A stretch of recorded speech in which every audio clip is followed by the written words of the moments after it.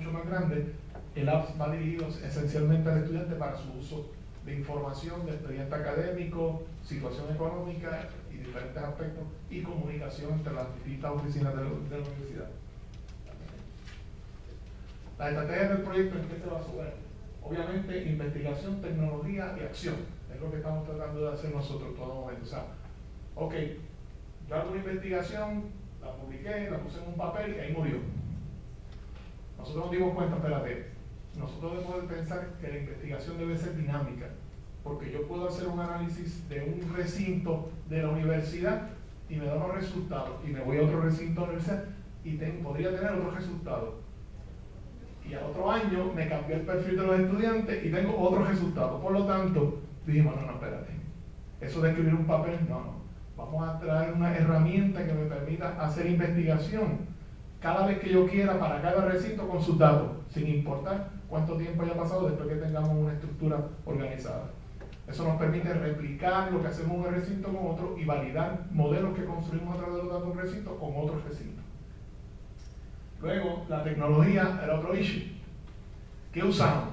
¿Eh? ¿Qué usamos? Y nos decidimos, tenemos que usar algo que todo el mundo puede usar. No podemos irnos a comprar un fancy program de estos que hay venden por ahí.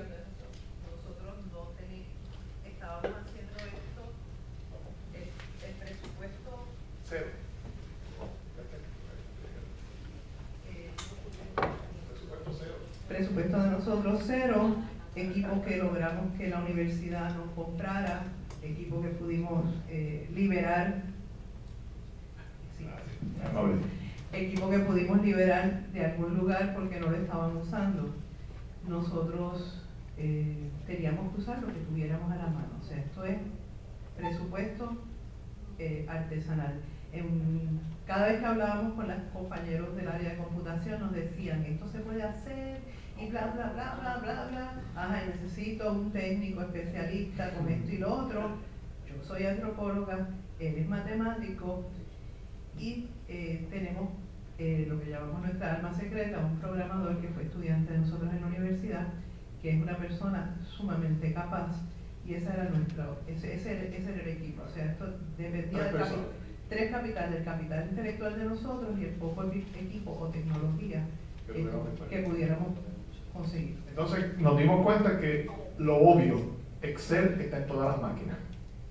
No importa la máquina del planeta que usted se conecte, ahí está Excel. Por lo tanto, espérate, vamos a montar nuestra aplicación para que opere sobre Excel, para que sea como si usted esté jugando con Excel. Por lo menos cualquier persona que esté en el ambiente académico universitario debe tener alguna noción de Excel y algunos pueden ser unos super expertos y darnos clases de Excel pero en esa variante todo el mundo lo tiene en su máquina, todo el mundo ha hecho una tablita dos por dos en Excel con su grafiquita y ya. O sea, no estamos pidiéndole que se convierta en un gurú de SPSS, ¿verdad? Porque nosotros usamos SPSS, pero después decimos, espérate, hay cosas de SPSS que yo las voy a traer al programa y obligo que el programa me la haga. Analítica hace funciones de SPSS porque las programamos para que lo hiciera, no meternos en eso. Entonces, de ahí, pues, como dijo la compañera, muchos, compañeros de cómputo del centro de cómputo de la universidad a nivel central pues decían, pero mira que tú puedes usar. sí, sí, sí, pero yo necesito que Juan Pérez de la oficina Z en el recinto Y sepa qué va a hacer, qué, qué, qué teclas tiene que hundir. Eso es lo yo necesito para que lo use, porque si no, no lo va a usar, va a ser lindo, vamos a. Y ahí se quedó. Entonces. Ok. Bueno, pues eh, resumiendo, eh, lo que nosotros al presente hemos analizado nosotros eh, tenemos la suerte que la Universidad Interamericana, lo que adoptó Banner en 1995, y todas las unidades de la Universidad Interamericana usan la misma estructura de bases de datos. Una vez se adopta esa estructura de Banner, entonces quiere decir que todos los datos de agosto del 95 al presente están almacenados en una estructura uniforme, que permite un query eh, que podamos entonces eh, derivar en la misma estructura analítica los datos. Así que nosotros tenemos ahora mismo 20.5 años de datos. Y 20.5 porque todavía no hemos recuperado los datos de este semestre. Porque nuestro análisis, recuerden que es semestral, nosotros miramos la corte, o sea, Nosotros tenemos un análisis de las cortes de enero nada más. Enero del 95, enero del 96, enero del, y el otro, agosto del 95, agosto del 96. O sea, nuestra estructura es por semestre. Y claro, al entrar el recinto metropolitano en nuestro proyecto, se hace también por trimestre. Ok. Al presente, cuando nosotros estamos buscando patrones.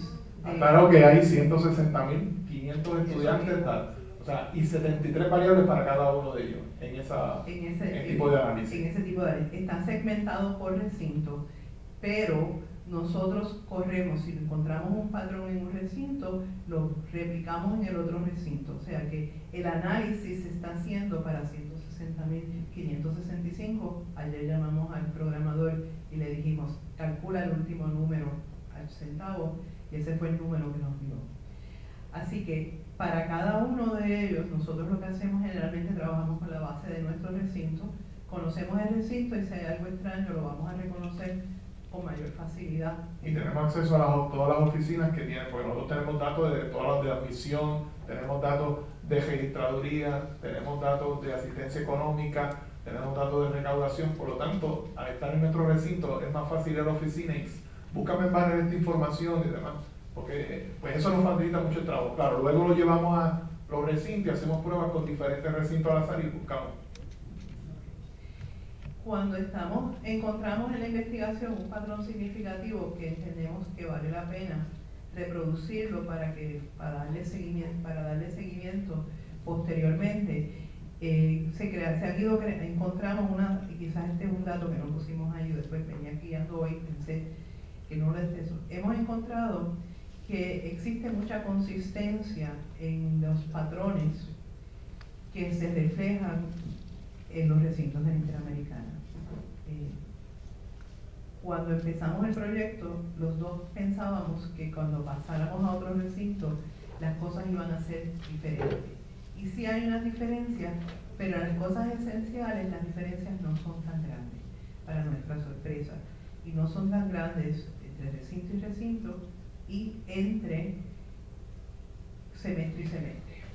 Los patrones pueden variar los números que vemos, pero cuando buscamos la media, buscamos, etcétera, buscamos las líneas de tendencia, tienden a ser similares, no idénticas, jamás van a ser idénticas, pero hay unas tendencias consistentes. Hay un ADN común en nuestra población. Exacto. Caso de nuestra universidad, claro está. En nuestra universidad. Nosotros decimos que le, identificamos el ADN que genera muchas apariencias, pero cuando vamos a ver es ADN